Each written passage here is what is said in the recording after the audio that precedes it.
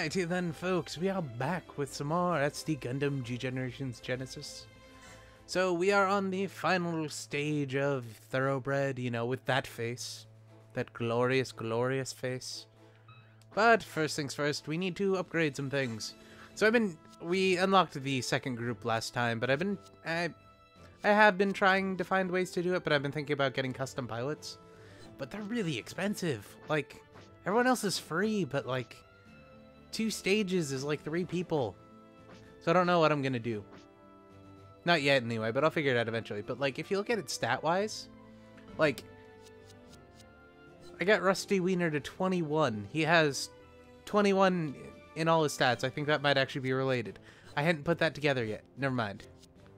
That is just a happenstance that is awesome.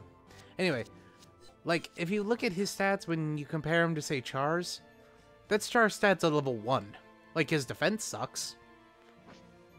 And, like, that's Amuro's stats at level 1. Definitely would not put Amuro in charge of anything, because he can't command to save his life. The only thing he can really do is maintain. But yeah, like, that's our stats at level 1, and then we could train him up to, like, level 10 within, like, three stages. Even Ramba Ral's good. And Yazan's ridiculous. Yeah, we'll worry about that later. Anyway, first things first, we got our Grand Zeong to level 6. Which, that allows us to pick between two things, so I'm gonna check exchange real quick. Yeah, nothing interesting. Well, the Goblinted and the Gabthley, but meh, they're not mobile armors. They're close, but not exactly. Anyway, so we have the choice between the Neue Ziel. Yeah, I was really wrong on that. Like, really wrong. I don't know why that's a thing, though. Or the Quin Mantha. I know I know we really should go Quin Mantha because Quin Mantha is fucking badass and basically a giant Sazabi. Giant being it's like six times as large, I think. Something like that. It's freaking huge.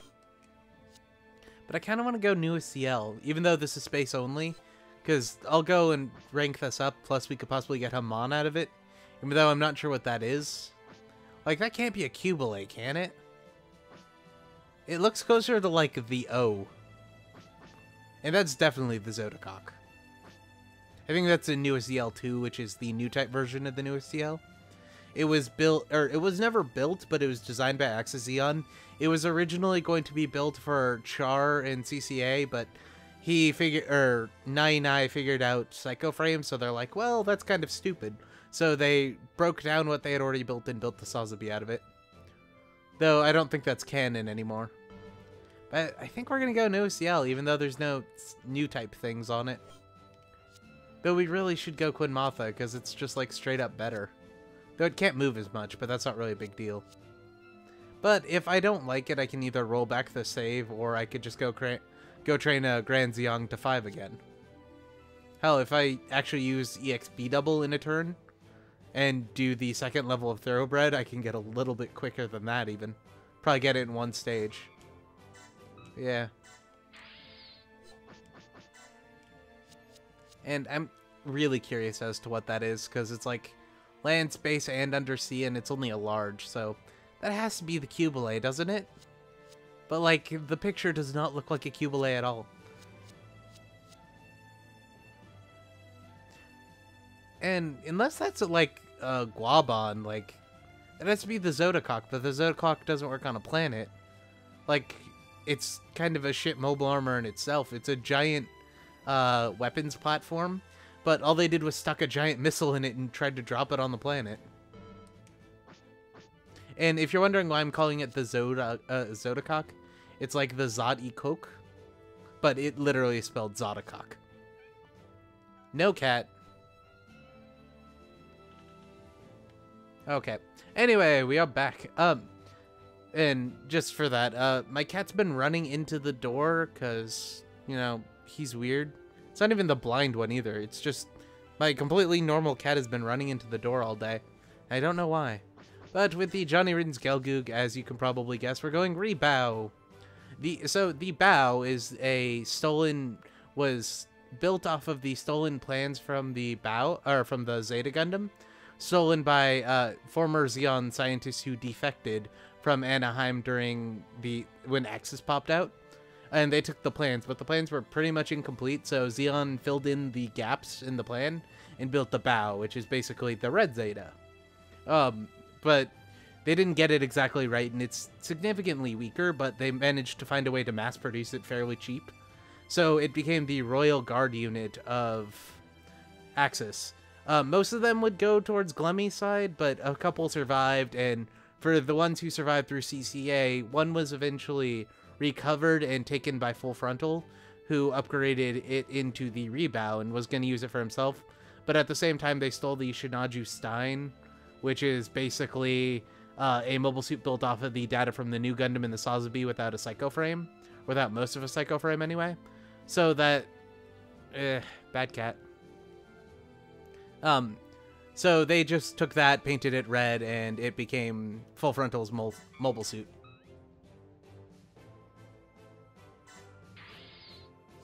And we are on to the Gion. We're not going to upgrade the Sazabi just yet, and you'll see why in a second. But we're going to upgrade the Gion. We're going to go with the Gion Custom, because even though I want one of these, I could get one later. And the Galbaldy A, we can pretty easily get a Galbaldy B a little bit later in the game, so we're just gonna go get a Galbaldy or Galbaldy custom. Um, and with the Galbaldy custom, or with the custom, we can turn it into the EOS if we wanted, the Galbaldy B or the Arjarja, which I think we're gonna go for the Arjarja. Or we could go back to the straight Galbaldy or Gion. keep saying Galbaldy. Um, with this, since we're in space, we're just gonna go with the high mobility type instead of the sleeves.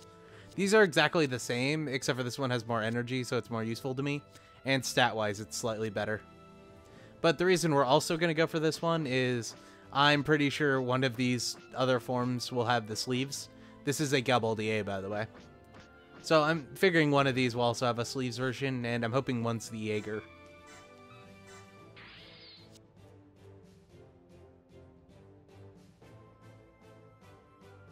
She's not getting back in all day, so it's fine.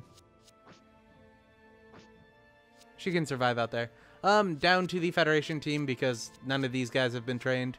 Because we don't really have pilots for them. Well, we do have pilots, but I don't want to use them. And, like, these three are ground only, so meh. I did move the Gerbera Tetra over into the Federation team because it's a Zeon, or into the Zeon team from the Federation team. Because it's a Zeon suit, and we didn't really need to train it. Though we will be training it in a little bit later for that, but oh well. I've already used that in... I've already actually used that, though, yeah. So we've already seen all the attacks. As far as the Federation teams go, I got the GP01 again for this because I thought I could turn it into something. It turns out I can't. But I can trade it for a Galbaldy B or a Jaeger, which might be worth it. But second exchange, yeah. The GP01 and the Full Burnern are the same suit in this one works in space, one works on the ground, etc., etc. So I think what we're going to do is we're going to develop it into the three after this, and then on my own time. I apparently can't click Y from there, which is annoying. On my own time, I'll go and get the Orchis from it, and then we'll just have that as the... So next round, we'll have the Orchis in this, and then we can just use that instead as its mobile armor. Um, with this Gundam, we can either turn it into the G3 or the full armor. We have, we still have the full armor 7th Gundam, which we could go into the heavy or the uh, full armor Gundam. So I think we're just going to go into the G3. Plus, that gets us access to some stuff because that's white, but the Gundam isn't. Which is weird, but oh well. Um, as far as the Nero, there's the GM3 or the new GM3 or the S Gundam. You'll notice, look at the stats. The S Gundam's just straight up better. Plus, it has the Alice, which I'm curious to see what it is. Also has thigh beam cannons and sniping. And the beam smart gun, which everyone in this world, or everyone in Sentinel has, is a beam smart gun. I don't know why they never used them after it, but they apparently made like 600 of them. So yeah, we're gonna get that, and it's also really goddamn expensive. Should be fun. Um, we're gonna, we can either turn in, I think this is gonna be a FAZZ, not a double Zeta, but it looks like a double Zeta. This is going to be the X, the EXS, I think it's called. Though it's it can go on land, so it might be a different form of it. But we unlock what's his face when we unlock it too. I was gonna say Longshore, but that's the uh, grunt antagonist. The main uh, the main antagonist is Brave Cod. I can't remember what his name is though. Could probably look it up, but I'm too lazy. Th that's the main pilot who the Alice falls in love with. Um, so the S Gundam has a new has a AI on it called the Alice, which is sentient for some reason, and the AI ends up falling in love with their pilots. So it has to be like in a certain range of appearance and a single male pilot or something like that. And then it falls in, it falls in love with the pilot and eventually kills itself to save him in various Gundam fashions. And I don't think he ever notices, but it does, which is kind of weird. But it's a light novel, so it's kind of hard to tell. This one might be the XS. But yeah, it's in a light novel, so it's not really the best well-written thing, but oh well. Um, as far as the fifth or the boost Gundam, nothing here we really want, because like even the Madrick, we already get all that stuff. So it's just kind of a circular tree on this one. But, as I said, whoops, no, we don't want to do that. We're going to stand you by. We're going to go grab our full armor 6th, or 7th. And instead of going into this, which I originally thought we were going to go to, which, you know, that can also go into the Orchis if we wanted. Eh. We're to go with the full armor for here. Or do we want to go with heavy? Hmm. We could go back to the full armor if we go heavy. Can we go back from the full armor too? Yeah, we can. Wow. Alright, so... They can both turn into each other, so it really doesn't matter. Equipment-wise... We're gonna go with the heavy, because the heavy has better equipment. Um, I did train up the Hazel, trained it up quite a bit, actually. Um, I, as of course, I only know what this one is. This is the Byarlant, which I'm assuming the Byarlant customs in this, but I'm thinking this one maybe. Um, yeah, I think that one's the Byarlant custom. We also apparently unlocked Jerid through that. What is that, a Marasai? Um, anyway, or no, that's probably the Gaplant. Never mind. Not Gaplant, uh, Gal uh, Gabthley. Yeah, that one. This is the Byarlant. It is a suit designed to fly in the atmosphere. It doesn't look aerodynamic at all and looks kind of weird, but the custom made it look a little bit better. Um, Jerid used it during the attack on Kilimanjaro and I think Dakar. He didn't do much with it. It's just kind of there. Besides that, we have the Hazel Owsla, which looks like an upgraded version of what we have now. And then we have the Hi? This is the prototype Gaplant, however. Which, I mean, like, that's cool. But we already, we have Ingrid's Gaplant over here, which I was going to show in a second. So I think we're going to go with this one and then get this because this probably turned into it. Uh, it can't, but... Is this what I think it is? Is that the prototype Asshimar? It might be. I'm assuming this is the uh, Hazel 6. I can't remember the name to it. The TR6. Yeah, we're gonna go with that one. Just because. That one's also really expensive, surprisingly. Um, we have Ingrid's Gaplant. Which, this is Ingrid from, uh, this is one of the pretenders to being Johnny Ridden in, uh, Return of Johnny Ridden. This is a 13-year-old girl who was somehow a 40-year-old Zeon pilot. I'm not exactly sure how people thought that unless they didn't know what she looked like. But yeah, she's like 12 we can get her. We can either get a Gaplant out of it or a Gaplant Kai, which is a thing in this. I don't know which one we're gonna do. Though the Gaplant Kai is in a mobile suit, it's a mobile or it's like a jet kind of thing. I don't know which one we're gonna go with though.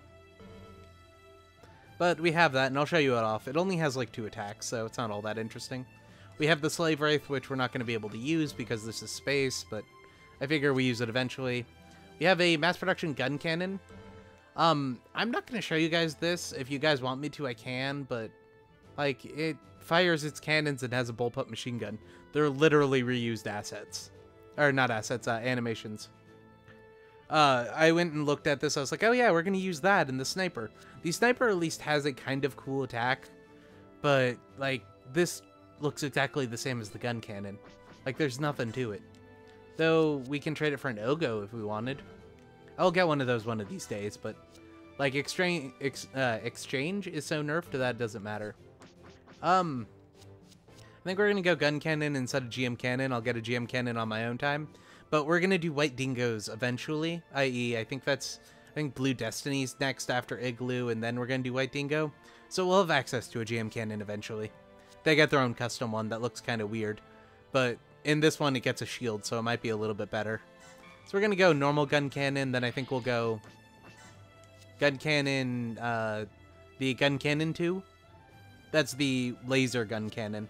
I don't know which one this is. I want to say it's the uh, RX 77-3, which is the gun cannon with missile launchers, but that pose, I just can't tell you. And then we have the sniper, the GM sniper too. We can develop that into the cold district type. I don't know how they got the translation on that. I I guess cold cli or uh, cold region means something else for in Singapore, but this is the GM Cold Region type, or the GMC, which is uh, what I thought one of the earlier mobile suits was going to be. Um, basically, this is one designed to work in Russia. It has less open spaces and the filters are better. Not much of an improvement over the normal GM, but it has a machine gun instead. We have the GM Command, which we'll be getting eventually, so I'm probably going to ignore. Plus, all it gets is a, the Cold District GM, so don't care about that one or the Delta Team Sniper. I'm not exactly sure what the Delta Team is. I know this one's from Lost War Chronicles, but I don't know how this is any different from what we already have. Though it has the Sniper 1 instead of the Sniper 2 Sniper, and it's painted blue. But, like, it's exactly the same of what we already got. Except, well, this one has a bullpup machine gun, the other one just has a machine gun. So much different, you know, reloading mechanisms. But yeah, so we're gonna, I'll show you guys what the sniper attack looks like. And sniping too, probably, because sniping's really good for taking down enemy, or weakening enemies, but not killing them, because it does a set amount of damage. And then I'll probably upgrade to the Delta team on my own, and then do some stuff with that, and train it into, I don't know, a GM command? It's probably a ground command, though. I don't know. We'll find something better for it, or we'll go back to the sniper and complete the circle. I don't know, but I'll show you that off for now. I've been kind of loath to have second teams on both of these people, or both of the ships, because it makes the game way too easy and way too tiresome. Okay, yeah, I did that. Um, but we are going to go to development and design, because there's quite a few we can unlock now.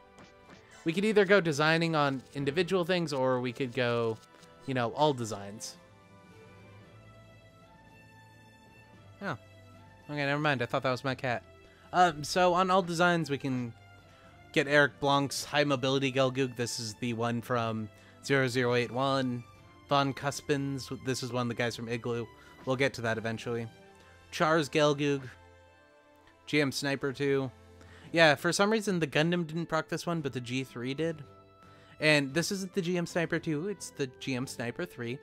I have video proof. I actually did play this game. It isn't the Sniper 3. The Sniper 3 is a Titan's mobile suit. That's just the Sniper 2 with a lot more thrusters. It's not very good. Though it might be in this game, who knows. Eric Blanc, Zaku 1. Which, I'll show you this when we get to see it in a second. This is just a Zaku 1 with a heat sword instead of a heat hawk. Which I love the idea too, but it has no guns. Usually give it a bazooka and keep with the heat sword and then the knuckler because it increases damage. It's amazing because there's no reason Zaku's shouldn't have heat swords. But for some reason they started producing heat hawks still even after the heat sword was produced. Because both the heat sword and the heat saber from the uh, the heat sword from the Gouf and the heat saber from the Dom were easier to make than the heat hawk. They were smaller though, so that might have been the reason, but all it is is making metal super heat that wouldn't melt. I don't know why they kept using heat hawks, but they did. We can get the Act Zaku, which is kind of surprising to me. Uh, we can eventually, we give that to the Sanguine dude, you know, crazy guy we're fighting right now, and we'll get his version, which is slightly better, and has ridiculous dodge. Um, Char Zaku. Literally, this is a Zaku that goes slightly faster. It's not even three times faster, it's like 20%. Which I guess early in game it might be nice, but it turns into the same thing Zaku's do, and yeah, it's nothing worth it. And the Sinanju, the reason why we didn't upgrade the Sazabi. I think you can still get it through the Nightingale, though, so it's worth to check, but not important. So we can just free straight up get this the Sinanju, but it costs like 200 million or something, some ridiculous number like that. Not 200 million, 200,000. Yeah, I think so. Anyway, we got all those things. Like this is just a straight Gelgoog. Like it even turns into Gelgoog's things. Sleeves. This is the ground version. Charazaku turns in the exact same thing the Zaku 2 does the Action Zaku, which turns into things we don't know about. Uh, this is definitely the Zaku FZ. I don't know about these other ones, though. Oh, and the Action Zaku does have a beam rifle. Its uh, reactor is slightly better. Also has a custom Zaku machine gun. Never heard of that before. It's probably Zaku Machine Gun Kai, which I have heard about. It's the 90mm machine gun. But yeah, Von Cuspins, which literally just a Gelgoog. Yeah. Look at the mobility on char stuff that are supposed to go three times faster. They go like a 16th faster. The Sniper 2, which I really like this one. It has both the Nerf gun, the long range rifle, which in game it didn't have. I'm still salty about that, and the rocket launcher, which I love. Like, this is making the Sniper 2 really good. Which we might get this eventually.